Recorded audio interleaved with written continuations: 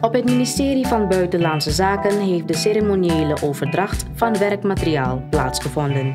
De Chinese ambassade heeft op donderdag 17 oktober onder andere printers en mobiele telefoontoestellen beschikbaar gesteld ten behoeve van het ministerie en de Nationale Assemblée. Uh, deze uh, giften staan daar achter ons. Het zijn uh, computers, printers, enkele airco's, een twintigtal airco's en een twintigtal of een tiental telefoontoestellen hebben we ontvangen naar aanleiding van dus een een delegatie die in april gekomen is van de CCPCC uh, naar Suriname.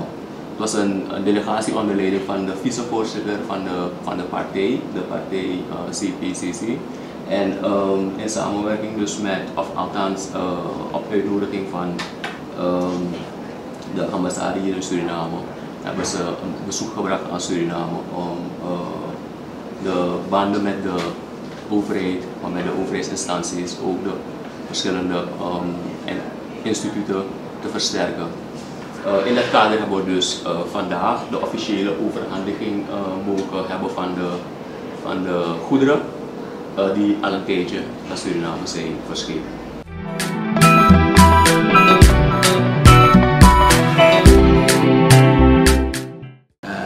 Earlier this year, the vice chair of the conference uh, visited uh, Suriname and it was a very successful visit.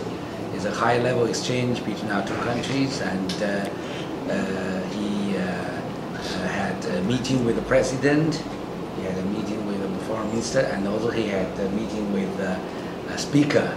So the, uh, we are so happy that uh, this is a good uh, Uh, moment for improving and strengthening our relations.